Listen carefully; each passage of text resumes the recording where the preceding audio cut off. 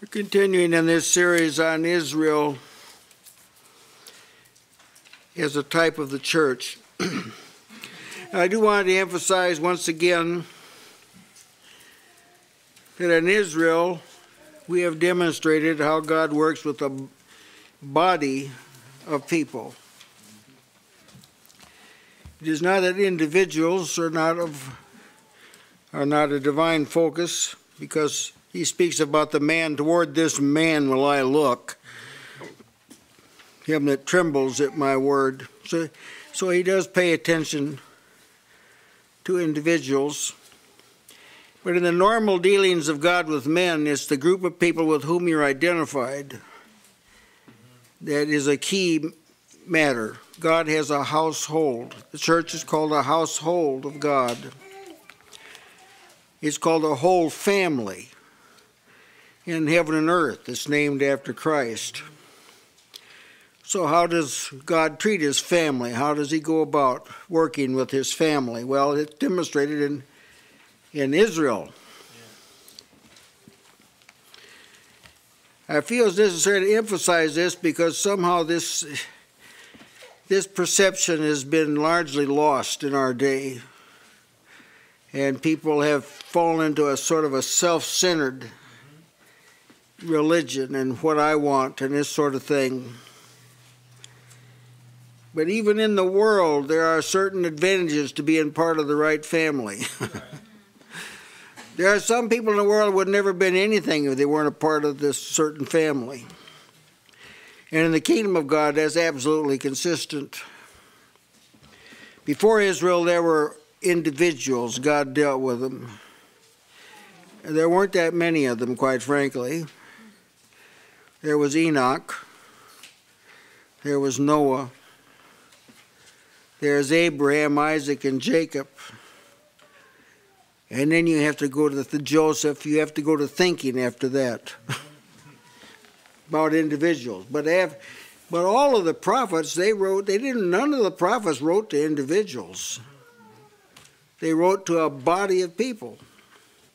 And we're going to touch on this aspect of the divine character tonight that in Israel he demonstrates how he gives messengers, sends messengers to his people to warn and to tutor them. Which means salvation doesn't make you self sufficient. Right, the fact that uh, God calls a nation doesn't mean that each individual of that nation can stand on their own two feet. It's not the way it is at all. Even though in some respects there are individual benefits for it, but they are always for the person who presses closer, looks more intently, has a more of a focus like Paul. Paul was part of the body of Christ. Fact, he was set in the body. He was of, of for a group of men that were of first rank, first apostles. So he was in that category, but he never forgot that he was part of this family and any special benefits he received that the rest of the family didn't necessarily receive was because he extended himself further. Now, there's no known limits in the family of God. There's no known limits as to how far you can go or how much you can receive. Eh, there's no known cap on that. God, from God's viewpoint, there probably is a cap, but it's determined by your role in the body of Christ. Anything that extends beyond who you are in Christ, it would be superfluous to load you up right. if you couldn't use it. I can see the sense of it. But that's what we want to look at tonight. Special messengers given to the people of God to warn and to tutor them. Now, again, I'm emphasizing this is God's manner. This is the way God is. I will tell you that no age or generation or body of people of any given time decline without having been warned. This is God's manner. And where there's a decline, there has been an ignoring of some word from God. Some messenger that was sent to stop the backward motion. It just doesn't happen independently of that. Now, God is serious about this, as we'll demonstrate in his dealings with Israel. Now, Sister Annie read this one text. God told the prophet, they're not going to listen. So, in any other arena but the kingdom of God, you wouldn't say it if people weren't going to listen. But see, more is involved here than the people. There's God's involved, the integrity of God. Nobody in the day of judgment is going to be able to say, if only you'd have paid more attention to me, I'd have never done this or that. I'd have never gone backward if I just had been given a little more opportunity. No one's going to be able to say that. Amen. This is God's manner we're talking about. Now, 2 Kings 17 13 gives us a word on this. Yet the Lord testified against Israel and against Judah by all the prophets and by all the seers, which was another name for prophet. Prophet emphasized what they said, seers emphasized what they saw, or comprehended. He sent these prophets and seers, saying, Turn ye from your evil ways and keep my commandments and my statutes according to all the law which I commanded your fathers, at which I sent to you by my servants the prophets. He sent that word out. I'm serious about this. I didn't I didn't send a word for it to be ignored. Pay attention to what I've said. Listen, brethren. There are Christians beyond number that do not take seriously what God has said. We just as well acknowledge it. It's not that we're being crotchety or critical. This is just the way it is. Some people have no trouble at all ignoring what God has said. But I will tell you that God is going to deal with that issue. He will not allow a person to get into glory who ignores what he said, no matter how nice they may appear. Now notice he faithfully sent them. Don't, you're going down the wrong path. Stop. Stop. Don't do this. Second Chronicles 24 19. Yet he sent prophets to them to bring them again unto the Lord, and they testified against them as the prophets testified against the people, but they would not give ear. You say, well, why, why waste the time doing it then? Well, this is this is God's manner now. Because he's going to be he's showing that he, he does care about his people, even if they don't care about him. He does. And he's demonstrated in Israel. Here's another word, Jeremiah 725. Since the day your fathers came forth out of the land of Egypt unto this day, I have even sent unto you all my servants the prophets, daily rising up early and sending them. I sent this word long before things got out of hand. Long before this departure happened, I sent people warning people about this. That's God's manner, see? Now, if you uh, we hope you haven't backslid, but if you have, and you will take time to review your life, you'll find that countless times when you were warned about this trend. Amen. Somebody said something about it. They may not even have known you were in a backward motion, but something was said. And you, it, it's going to be mind boggling on the day of judgment to see how many hurdles people went over. To go backward. This is God's manner now to warn them ahead of time. Here's Jeremiah 25 4. The Lord has sent unto you all his servants, the prophets, going, rising early and sending them. Eh, but yet ye have not hearkened, but nor inclined your ear to them. See that rising up early? Plenty of time. God never lets things get out of hand before he says something. This is not God's manner. That's why it's important that everybody, when, they, when they're assembled together in the name of Christ, it's important everybody be alert.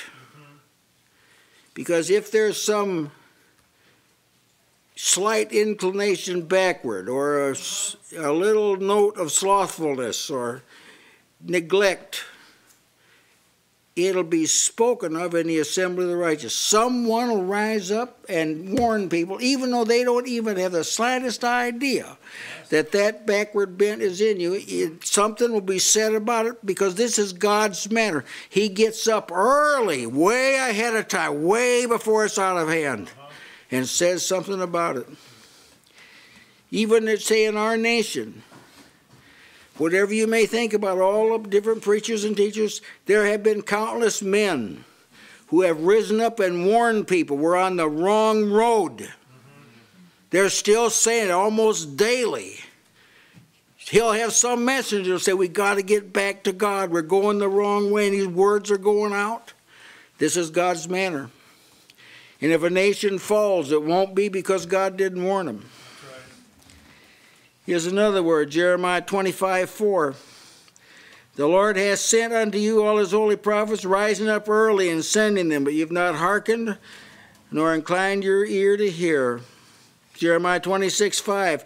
To hearken to the words of my servants the prophets, whom I sent unto you, both rising up early and sending them, but ye have not hearkened.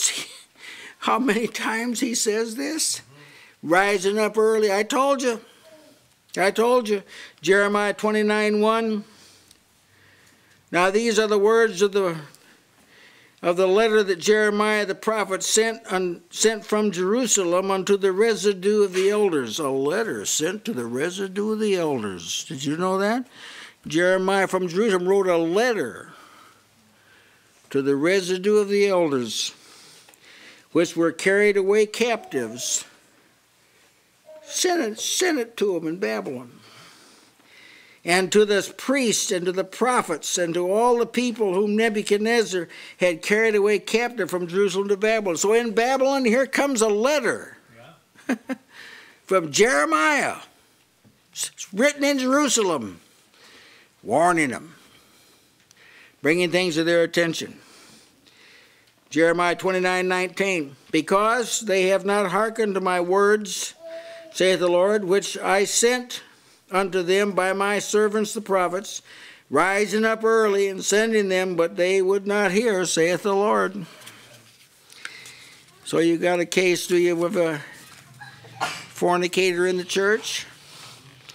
Something had to be said long time before the thing got out of hand. There was a word said, how do you know? This is how God works.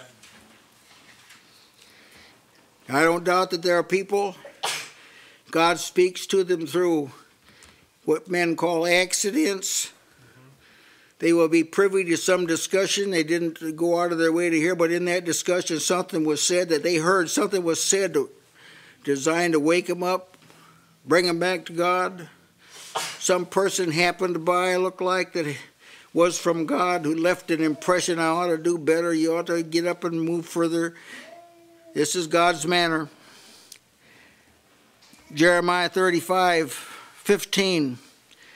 I have sent also unto you all my servants the prophets, rising up early and sending them, saying, Return ye now, every man from his evil way, and amend your doings, and go not after other gods to serve them, and ye shall dwell in the land which I have given to you and to your fathers, but ye have not inclined your ear, nor hearkened unto me.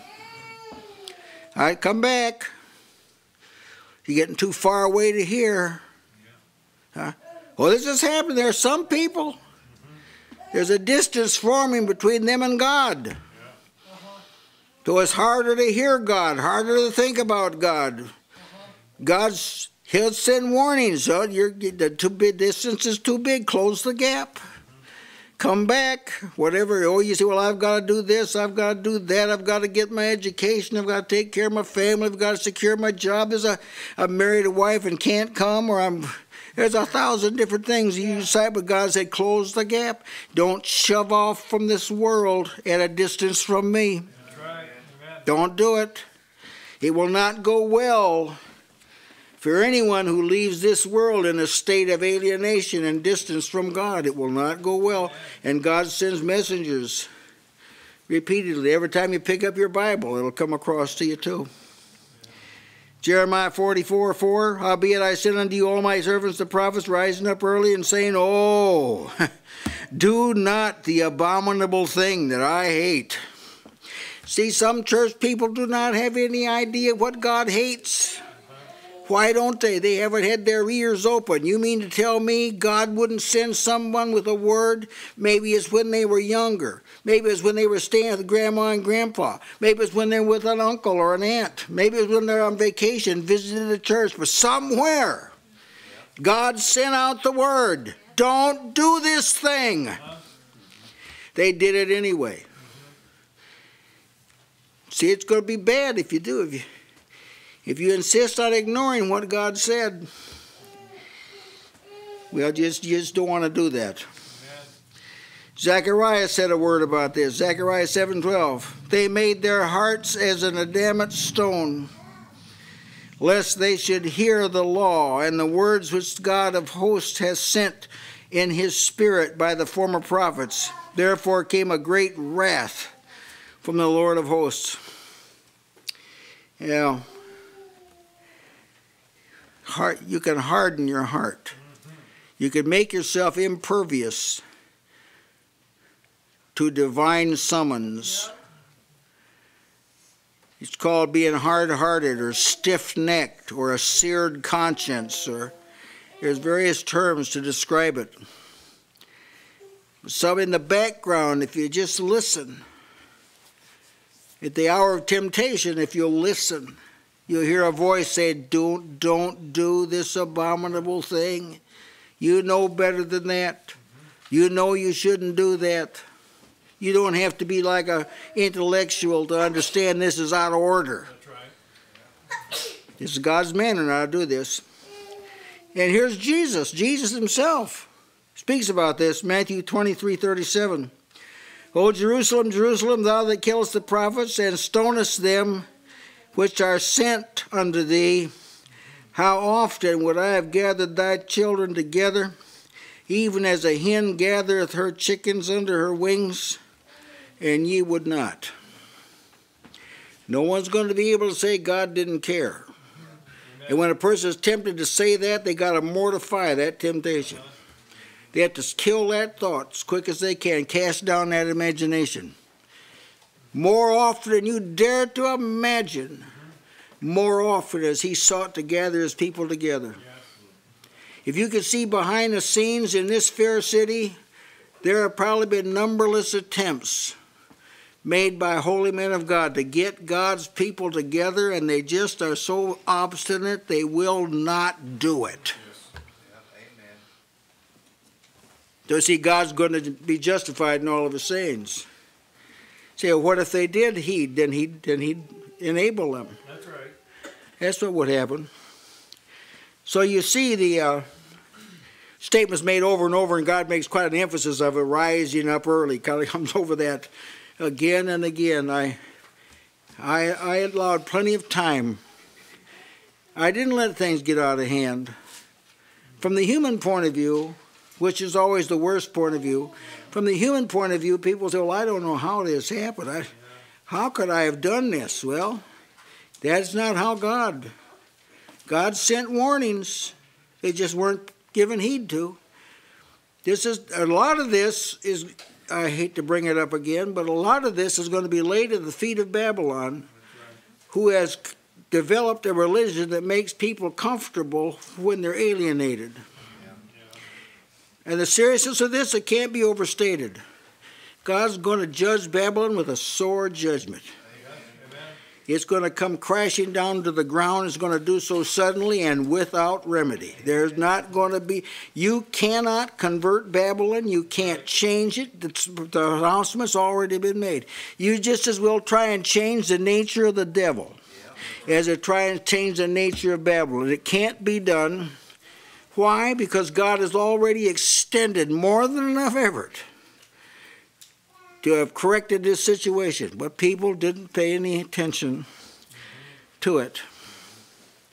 Now let's just take a moment to look at this, this principle, how that God does this. Again, a word from Jeremiah 14, 14 through 16. Then the Lord said unto me, the point I'm going to make here is that there are false prophets that say they're sent from God. The prophets prophesy false, prophesy lies in my name. I sent them not, neither have I commanded them, neither spake unto them. They prophesy unto you a false vision and divination, and a thing of naught, and the deceit of their heart. Therefore, thus saith the Lord concerning the prophets that prophesy in my name, and I sent them not, yet they say, Sword and famine shall not be in this land, in the land. See, Jeremiah said it was going to be. They said, Oh, it's not going to be. By sword and famine shall these prophets be consumed. And the people to whom they prophesy shall be cast out in the streets of Jerusalem because of the famine and the sword, and they shall have none to bury them. Their wives, nor their sons, nor their daughters, for I will pour their wickedness upon them. Does God do something like that? Yes, He can. Amen. Yes, He can. When you see, this is whether it's a nation, uh-huh. nation that forgets God. Scripture said they'll be turned into hell, all the nations that forgot God. They got kind of a start with God in mind, but they've veered way off course. God's going to, wickedness bears bitter fruit. And he said, I'm going to pour it out on them. They're, going to, they're not even going to have time to bury their dead. There won't even be anybody there to give him a dignified burial. That's how God is about people rejecting what He has said. Amen. Now, this, this is under the law we're reading about. You can consider this in view of what He's done in, the great, in His great salvation, so great salvation. You can imagine people who neglect that, God's mind toward this. It's not good at all. Jeremiah 23 21. Have not these prophets, yet they, I, gave, I have not sent these prophets, yet they ran. I have not spoken to them, yet they prophesied. they come telling you that the main, the, the thing we got to address is the family situation. The family's falling apart, and if we don't get the families together, nothing else. He said, I didn't send these people. My son said a man's foes will be those of his own house. That's not the message I'm sending. I'm saying stop doing the abominable thing.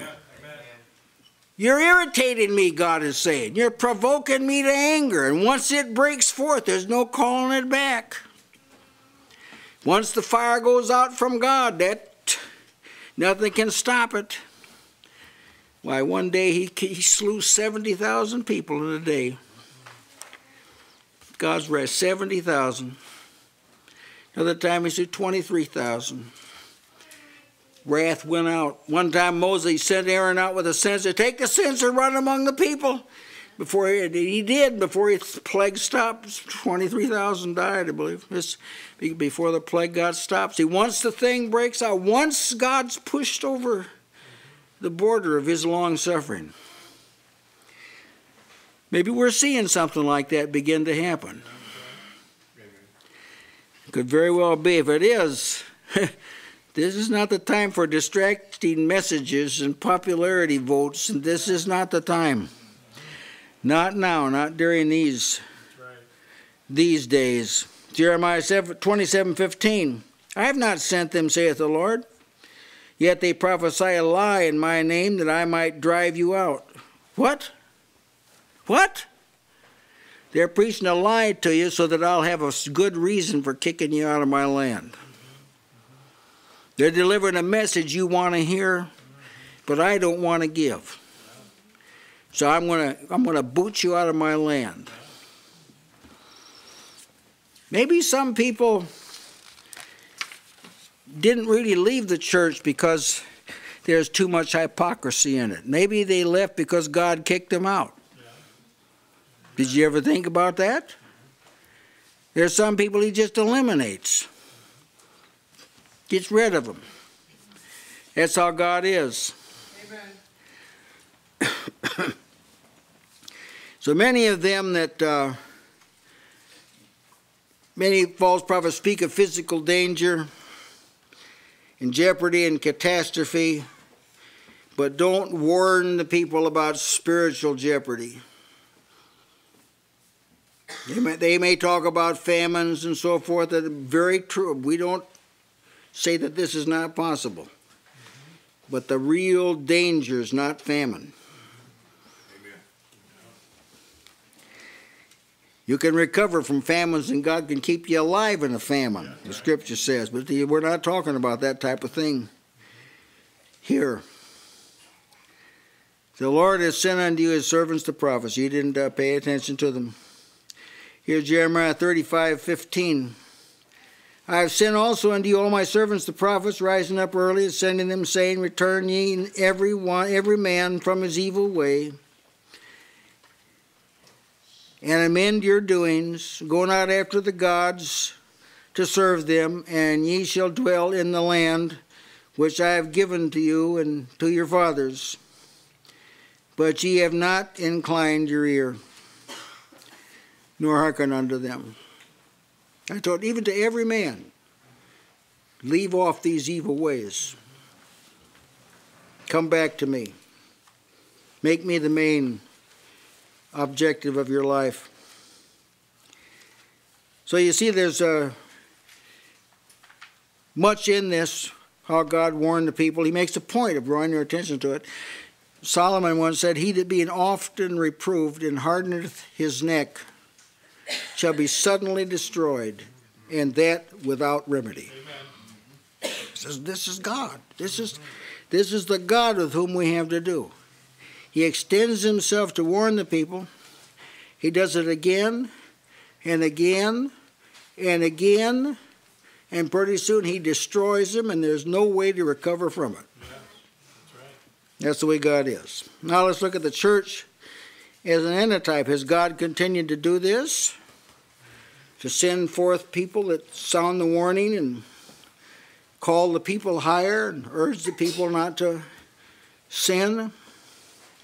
John says, well, you remember there were false prophets back then. There are false prophets. Many false prophets are going out into the world. 1 John 1, 4 1, a lot of them filled with them. To try the spirits to see whether they're from God. Make sure the message that you're hearing is really from God. There are prophets that do not warn the people of God's reaction to what's going on. See, a lot of people, they're preachers and teachers. You say, well, how come you talk against them? Because someone needs to talk against them. There are preachers and teachers that are so unacquainted with God, there are causes for damnation going on right under their nose, and they are so stupid, like an ox or like an ostrich that they can't see how dangerous the circumstance is, and they're coddling the people God is condemning. Well, yeah, that's happened. And they do it for a position in the earth, this sort of thing. God takes due note of it. Jesus warned the people beware of false prophets. Watch out. So, not only is God going to warn the people, He's going to say, don't listen to everybody. If the religion is popular and the world condones it, something's wrong. Yeah. Something's not right about that situation. Holy men appropriately warn God's people. Paul said in 1 Corinthians 4:14, I write not these things to shame you, but as my beloved sons I warn you. I'm warning. You're on a path down there at Corinth that's not going to end up well. You got to get off of this path. Touch not the unclean thing, come out from among them, saith the Lord. You've got to, you've got to do this. This is not a popular message, I know. So what do people think if we do that? That's not even, that's the wrong question. That's right. What will God think if you don't? Yes, amen. Uh-huh. What is God going to think? See, God warns the people. He, al- he not only tells them about blessings that are on the way uh-huh. for those who believe, he tells you curses on the way for those who don't believe. Amen. The holy men appropriately warn the people. 1 Corinthians 10 11. And all these things happen unto them, Israel, for in samples, and they are written for our, our admonition upon whom the ends of the world are come. 1 Corinthians 10, a classic text, it tells how they all came out. They all went through the Red Sea. They all baptized in the, Moses in the cloud and in the sea. They all ate spiritual meat. They all drank of the rock that followed them. But with some of them, God was not well pleased. Amen. You think that situation does not exist now? Do you think for one moment that God is well pleased with everyone that says they're a Christian? Or if we want to get exceedingly personal, would you dare to assume that God is well pleased with everyone sitting in this room? He may be, but you can't, that's not a thing to be assumed. That's right. You got to prove what is the good and acceptable and perfect will of God Amen. by submitting yourself completely to Him and giving your bodies a living sacrifice. If you haven't done that, well, do it. Don't let God have to tell you this every week or every day, tell you to straighten out your life. You don't want that kind of admonition because there's going to come a time He won't give it anymore. Uh-huh. He'll destroy you suddenly without remedy. But if you give heed to Him, He'll pour oil on your wounds and He'll heal you and restore you right. feed you and care for you. That's the way God is. If there was an Israelite that listened to God like David, look at all that God gave him. Look what God gave him to see because of the tenderness of his heart. God Almighty, he has servants that warn him. Colossians 1.26, even the mystery which has been hidden from ages and generations, but is now made manifest to the saints. And then he warned them. The next verse he says how he warned them, warned every man. I mean, this salvation is so great, beloved brethren, you can't get by with ignoring it. It's that great. I think a person who uh, ignores God's salvation, they don't they don't see it as a great salvation. They don't see it as a great deliverance or so great love. They don't see it that way. But that's the way it really is. And God will faithfully send people to warn them. Paul, for instance, Paul, he sent. Uh, he sent, uh, the early church sent Barnabas to Antioch. They heard that the pe- there had been people turned to Christ in Antioch. So God, now remember, he sends prophets. So he, they send Barnabas down there, who saw the grace of God, comforted the people, and some progress was made. Yeah. That's God's manner. Remember, I'm pointing, pointing out is God sends people to edify and strengthen, build up His people, and warn them. He, he this is what He does. So Barnabas was sent down there. Paul sent Timothy to Corinth because he could he could be trusted to assess their situation, whether they made progress or whether they hadn't. See. as God. God was behind this. This wasn't just Paul doing this. God is behind eh, behind this effort. And he also he sent Timothy to Thessalonica, find out how they were doing. This is God's manner. I think if you would trace back through our brief history here, there have been people that come to us from other parts of the world visited us, and I think if you had the presence of mind to check up, you'll find out that they brought some word. Some word was delivered. Brother Samuel, I believe, once said, There isn't a place like this Yeah. Uh-huh. in the world. He's the world traveler, right. said this. What does that do? Puff you up with pride? No. Oh, no. That means let's keep what we've got and gain some more. That's a word. See, when someone says you've got a lot here, that's not said to puff you up. That said you're on the right track. Now keep on it. Yeah. Stay on the highway, in the center of it, not out on the edge of it. He sends people to tell you. To tell you that someone's rise up and say, We don't have anything like this where we live. Yeah. They travel a long distance, come here because they don't have anything like this. What does that mean? say, well, boy, it looks pretty good for us. No, no, that's God speaking to us. Amen. He's saying, look, this is the result of your devotion to me. Now, now you need to be hotter. You need to be stronger. You need to go further. There's a whole lot to obtain yet.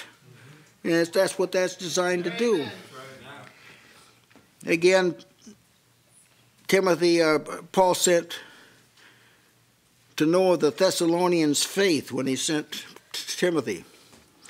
Wanted to know about their faith. I think God s- sent us some people that wanted to know about our faith. They heard about us, might not have been favorable what they heard, but they come to check it out, see about our faith. We don't want them to go away and say, yeah, they can't take more than 30 minutes either. There's got to be something distinctive. That's right. And he sends people to urge us to keep what we've got and forge forward and get more. Amen. That's God's manner.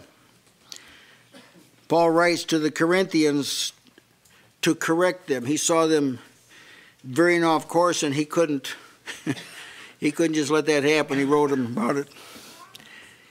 Think what he think what he told them. Remember now God rises up early, sends to correct the situation. He wrote about a presence of a fornicator. He got right on that. He wrote them about taking each other to the law and suing one another. You got right on that. Matters regarding marriage, he's corrected that, miscomprehension about it. He told them about being mindful of weaker brethren. They were they were flawed there.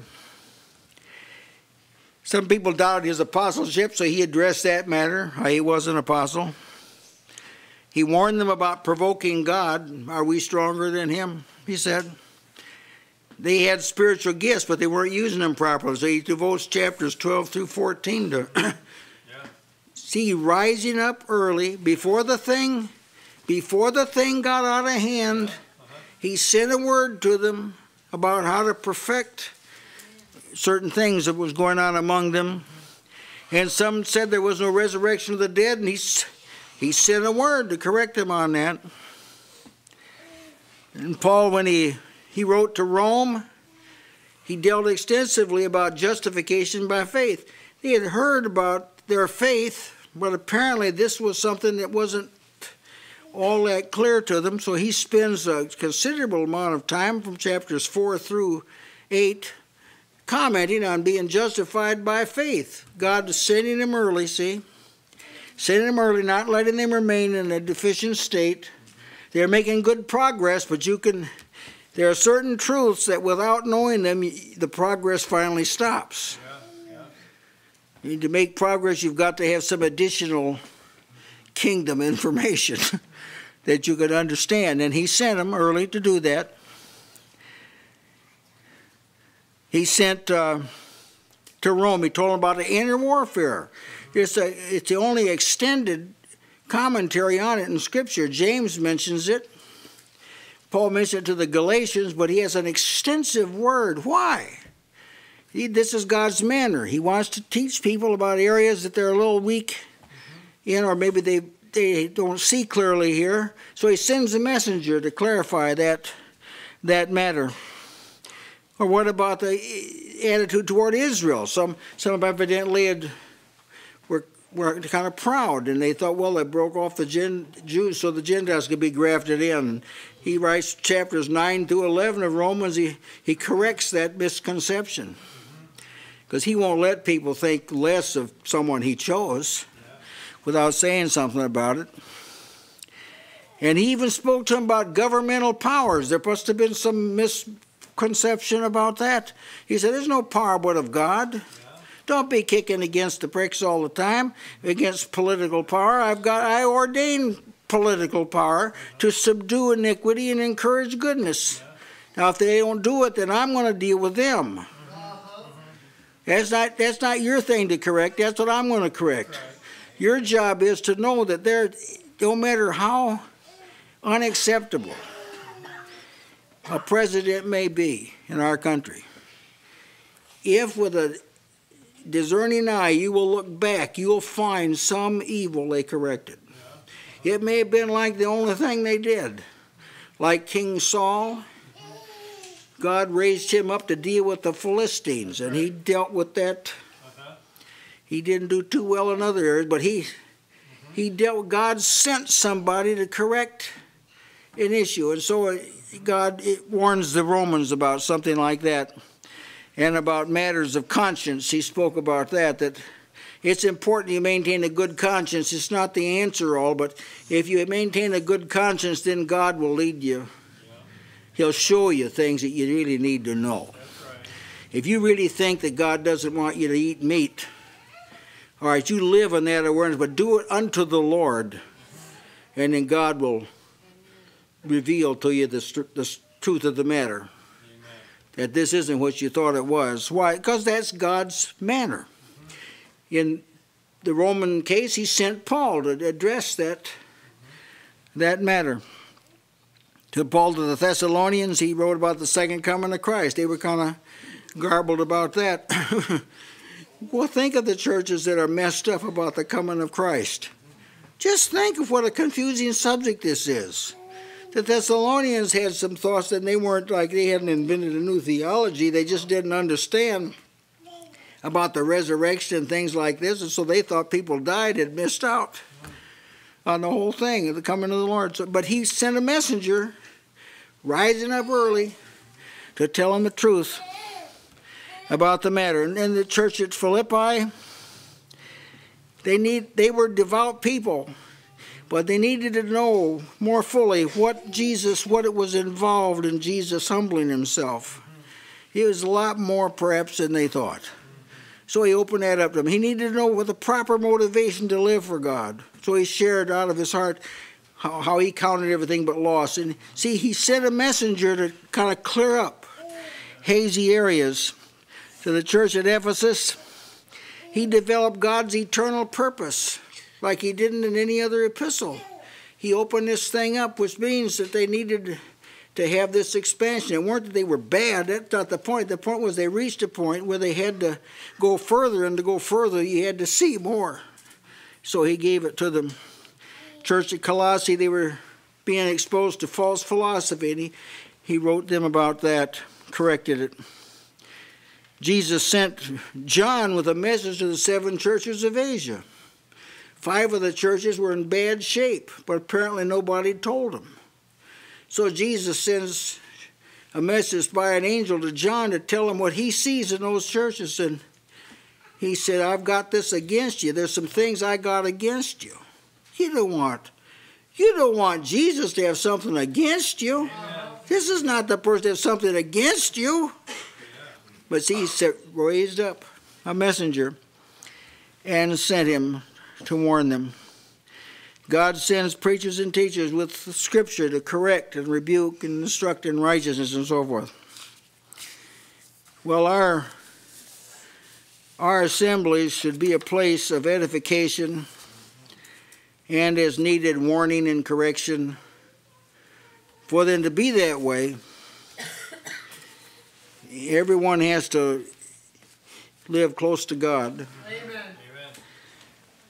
and then God will speak. This is what God does. This is what God does. You'll find we have these scripture showers. God will speak. During those times, God will speak to certain things that need to be addressed, and He'll rise up early. He'll give plenty of time for the thing to be corrected. Various exhortations, various messages, various books, the epistles that are expounded, various themes that are developed. If we're walking in the light, God will, through these, God will speak that will open up avenues to grow further, that will cause us to see things that need to be corrected. and to see possibilities that need to be entered into. See, this is God's God's manner. So our assembly should be a place where this can take place, which means they can't, of course, be run by rote. Uh-huh. Or they can't they can't accommodate the flesh. The flesh says, I don't like that, just say, well, go home. We're not going to manage our assemblies to please the flesh. Because the assemblies intend to be an environment in which God can speak. And people that have a word from God are free to say it. And if comfort needs to be ministered, somebody can rise up and minister it, and so forth. I'll leave those words with you. Brother Gene